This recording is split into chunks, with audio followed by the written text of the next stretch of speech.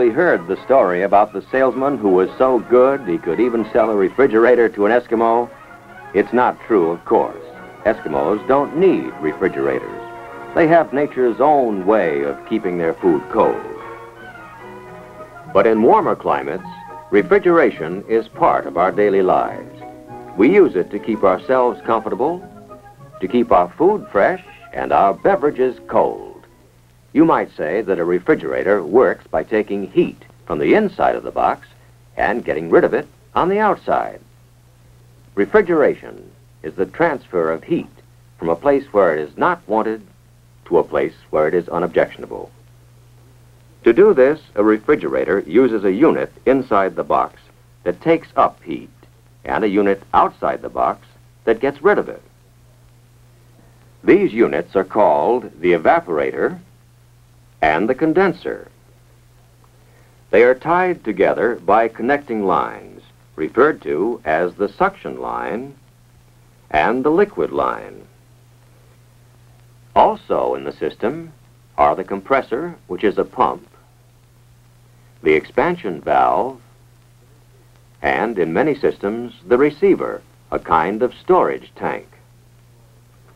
A chemical substance called the refrigerant flows through the system.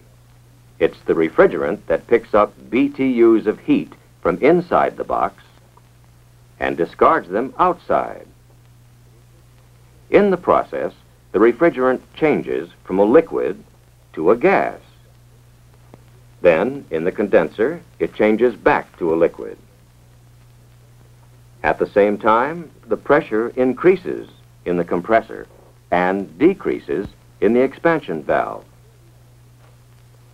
Before you can understand how the system works, you must learn why and how these changes take place. That means learning some basic principles concerning heat. To begin with, take a swimming pool and Kathy, who was swimming in the cold water. After she has dried off, she finds the air warm. But Helen has just come from the steam room, and she thinks the air is cold. The words hot and cold are relative. They are used to compare one thing to another. As the girls gossip together, Kathy gets warmer.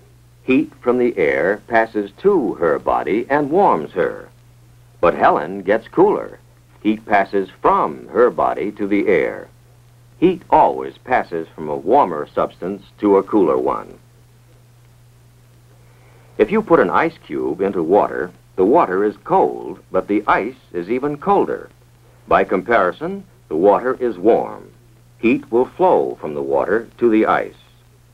This changes the ice, which is a solid, to water, which is a liquid.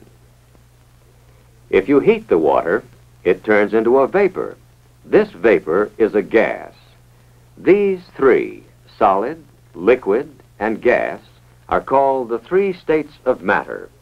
All matter around us exists in one of these three states. Now, let's see what happens to temperature if you apply heat to the ice. The thermometer reads 32 degrees Fahrenheit. As the ice changes to water, the temperature stays constant at 32 degrees. The heat is causing the change of state from solid to liquid. Then, as you continue to heat the water, the temperature increases until it reaches 212 degrees. The water starts to boil. The temperature remains at 212 degrees. Heat from the flame is now being used not for a change of temperature, but for the change of state. Remember, heat is taken in for the change from solid to liquid. Heat is taken in for the change from liquid to gas. Now, a change of state is always accompanied by a gain or loss of heat. This is a very important point. Any substance takes in heat when it boils or changes from a liquid to a gas. And any substance gives off heat when it condenses or changes from a gas to a liquid. Here's a container filled with gas. We add a thermometer to measure the temperature of the gas and a pressure gauge to measure its pressure. What happens if you push in on the piston? Answer. The pressure increases and the temperature increases. Now let the piston out. The pressure goes down and the temperature goes down. The rule is when a gas is compressed, the pressure goes up and the temperature goes up. When a gas is allowed to expand, the pressure goes down and the temperature goes down. It's true for any gas. Now let's see how a refrigerator works. We'll begin at the receiver, where the excess refrigerant is stored. It is in the liquid state and under high pressure. The high pressure forces the refrigerant through the liquid line to the expansion valve. This valve causes a pressure drop. The high pressure liquid becomes a low pressure liquid. This is like letting air slowly out of a balloon.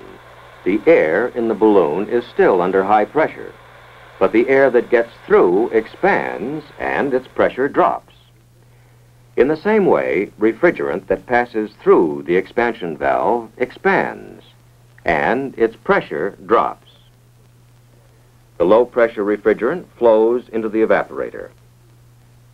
Now, if any of the food in the box is warmer than the refrigerant, heat will flow from the food to the evaporator. So, in the evaporator, the refrigerant takes in heat and begins to boil.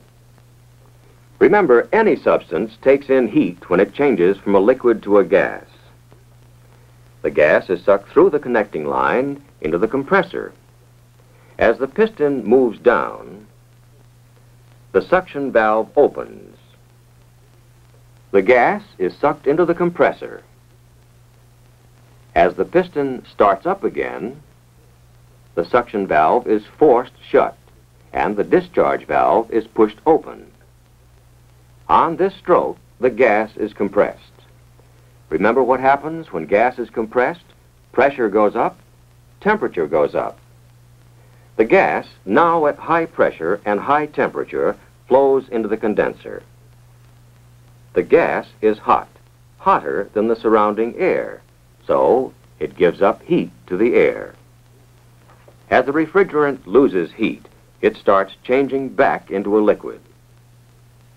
To complete the cycle, the liquid refrigerant returns to the receiver. Now let's review the whole thing. Refrigerant under high pressure flows from the receiver to the expansion valve. The valve causes a pressure drop. The evaporator takes in heat from the box. If anything in the box is hotter than the refrigerant, it gives up its heat to the refrigerant. As the refrigerant takes in heat, it changes from a liquid to a gas. Remember, any substance must take in heat in order to change from a liquid to a gas. The compressor sucks the vapor out of the evaporator and compresses it. This increases the pressure and temperature. The vapor is now hotter than the surrounding air. So, in the condenser, heat is given off to the air. As the refrigerant loses its heat, it changes from a gas to a liquid and flows into the receiver. Now let's consider some additional points that many refrigeration students have trouble understanding. In the evaporator, the temperature may be very low, perhaps 21 degrees below zero, and yet the refrigerant is boiling. How can anything boil at such a low temperature? Water boils at 212 degrees. But other substances boil at other temperatures, some higher than water, some lower. The refrigerant known as R12 boils at minus 21 degrees. There's no mystery about it. It's simply a property of the substance. The refrigerant in the suction line is carrying all the heat it picked up in the box. But its temperature is only about 5 degrees above zero. If you touch the line, it feels cold. How can something that's cold be carrying a lot of heat? Remember, hot and cold are relative terms. You know when water boils, it's very hot, but refrigerant boils at a much lower temperature. So the refrigerant can take on heat Change to a gas and still seem cold. Again, the reason is because the two substances have different boiling points. You have seen the basic principles of refrigeration. Study the system until you understand it thoroughly. Memorizing isn't enough. You must understand what happens and why, because all the rest of your work will be based on these same principles.